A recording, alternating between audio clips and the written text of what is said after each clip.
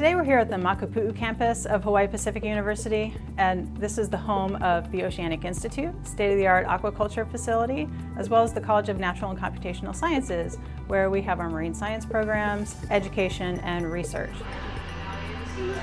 Here in this particular room is the Oceanic Learning Center Teaching Lab, where we are able to support classroom teaching as well as outreach to the community. And this is an unsurpassed opportunity for students to be able to step right out into the ocean, collect samples, see science in action, and be able to analyze that science here in this building. Hi, I'm Brenda Jensen. I'm the Dean of the College of Natural and Computational Sciences here at Hawaii Pacific University.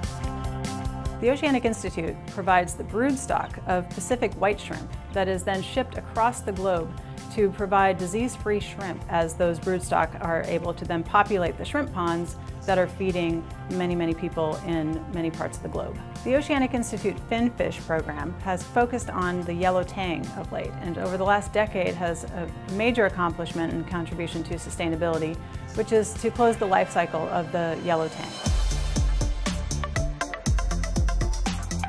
Students are drawn to Hawaii and this area in particular because we are at ground zero for so many of today's important issues that have to do with the ocean. That includes climate change, that includes plastic marine debris. We are very much at the doorstep of the North Pacific Garbage Patch, and so students have the ability to come and participate in a partnership and a center that we have developed, the Center for Marine Debris Research. We allow them opportunity to participate in research regarding plastic marine debris, the growing issue.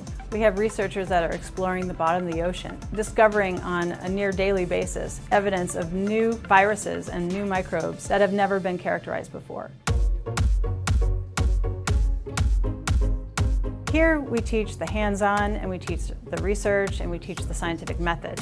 But this has application to so many different careers within sustainability. Students may leave us and go on into graduate school or professional school and they may become professors themselves as one area to go into to impact sustainability. But they might also decide that what they really want to do is to influence policy and influence people.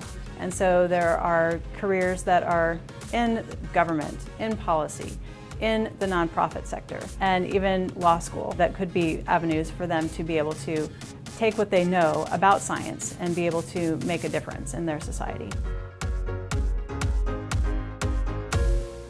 Brought to you by Hawaii Pacific University.